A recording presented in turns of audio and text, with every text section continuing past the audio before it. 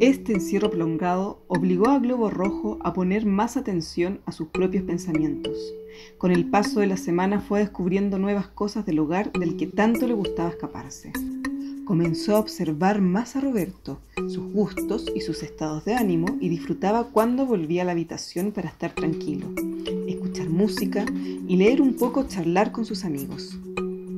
Un día, el cordel que ataba al globo se soltó entonces pudo volver a recorrer la casa y en especial a deambular por los espacios y lugares que no conocía.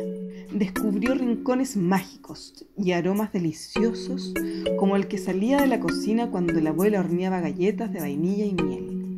Una tarde, mientras paseaba por el comedor, se encontró a Roberto y a sus hermanos, aburridos, sin saber qué hacer.